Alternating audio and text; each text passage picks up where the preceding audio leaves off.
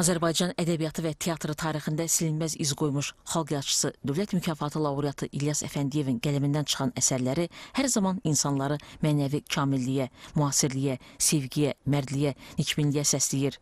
Bu fikirlər Fəxri Xiyabanda böyük ədibin 110 illik yubiley münasibətilə təşkil olunmuş anın tədbirində səsləndirilib.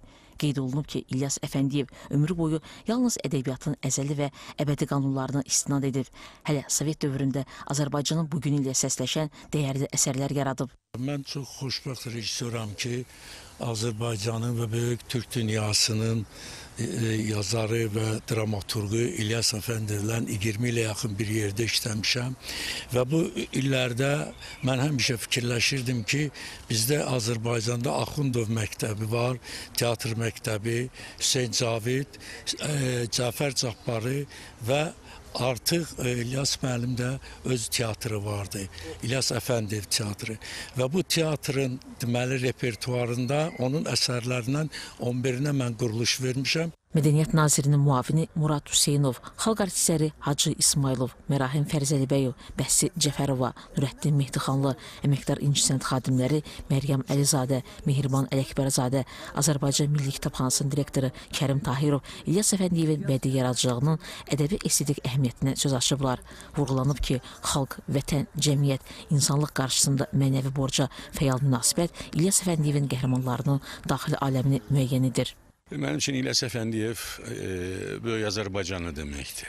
Gözəl ailə başçısı deməkdir. Gözəl dramaturq, qələm sahibi, millətini, xalqını, ölkəsini yaxşı tanıyan və sevən, qələmi ilə bacardığı şəkildə ləyaqətlə bu millətə xidmət edən həqiqi vətəndaşdır.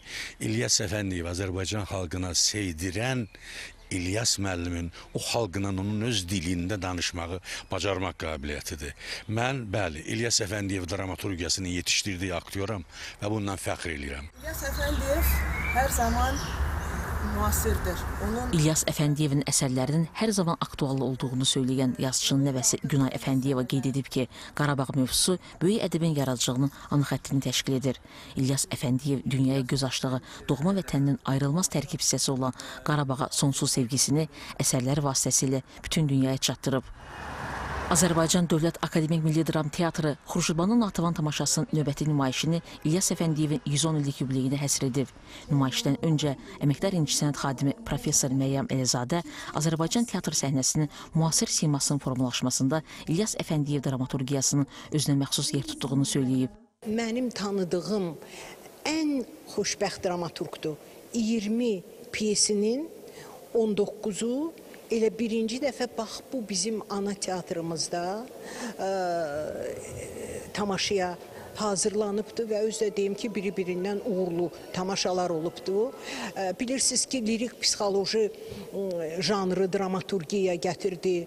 Çox böyük bir rejissor nəsli, böyük bir aktyor nəsli İlyas müəllimin bu əsərlərində ə, formalaşdılar, inkişaf elədilər. İlyas Əfəndiyevin anadan olmasının 110 illiyidir və e, bu rəqəmin nəhəngliyinə, möhtəşəmliyinə baxmayaraq mən düşünürəm ki, İlyas Əfəndiyev çox müasir bir yazıcıdır.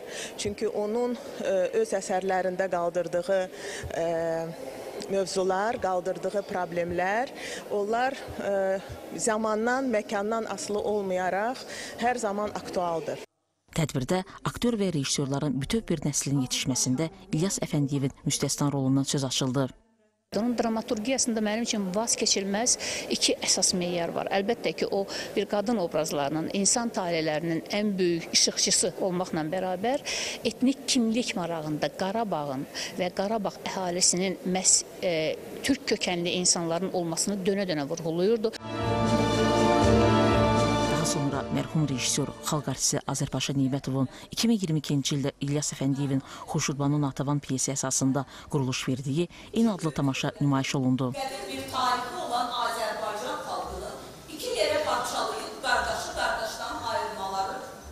Tamaşanın quruluşu rəssamı, əməkdar mədəniyyət işçisi İlham İlxanoğlu, bəstəkarı xalq artisti Siyavuş Kərimidir. Səhnə əsərində xalq artistləri Məlikə Əsədova, Rafiq Əzmov, Hacı İsmailov, Kazım Abdullayev, əməkdar artistlər Anar Heybətov, Elşən Cəbrayılov, Rəşad Bəxtiyarov, Mirzə Ağabəyli, Kazım Həsənquliyev, Elnar Qarayev, Əlvida Cəfərov, Ayşad Məmmədov, Elşən Rüstəmov və digər aktyorlar iştirak ediblər. Tamaşa Qarabağ xanı İbrahim Xəlil xanın nəvəsi, sonuncu Qarabağ xanı Mehdiqulu xanın qızı Xurşudbanu Natavanın həyatından bəhs edir.